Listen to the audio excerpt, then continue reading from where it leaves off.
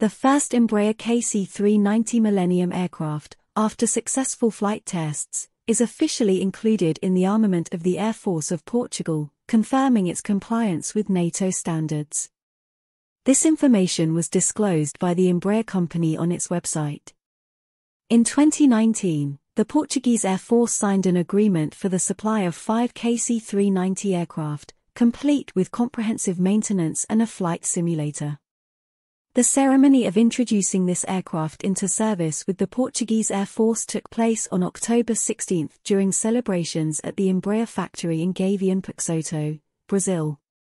This is a special moment for us, as we are witnessing the first KC-390 Millennium to enter service outside of Brazil. The Portuguese Air Force is a strategic partner for Embraer and has supported us throughout the process of the international introduction of the KC-390 Millennium.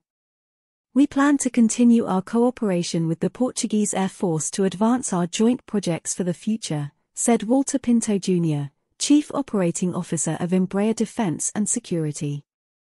Portugal received its first KC-390 Millennium in October 2022, and already in September began actively testing its capabilities. The arrival of this aircraft in service is an important event for the Portuguese Air Force and the entire country, as this aircraft completes the development and production of a versatile aircraft designed to perform the most difficult operational tasks.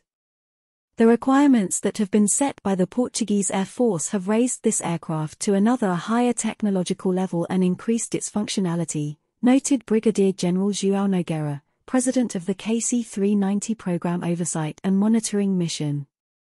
The KC-390 is a special Portuguese modification for aerial exposure. This aircraft is certified to refuel several different types of fighters and can also refuel other KC-390 aircraft using underwing fuel tanks. Refueling other aircraft in the air is a unique opportunity for the Millennium family. It was recently reported that the Ministry of Defense of the Czech Republic has begun negotiations on the possible purchase of military transport aircraft C-390 Millennium from the Brazilian company Embraer. This aircraft is currently being considered by several NATO member states, including the Netherlands and Austria. Hungary is also awaiting the arrival of its first aircraft of this type. Усім дякую за перегляд. Коментуйте новини, ставте лайки, підписуйтесь на канал. Підтримуйте канал фінансово. Деталі в описі до відео. Все буде Україна!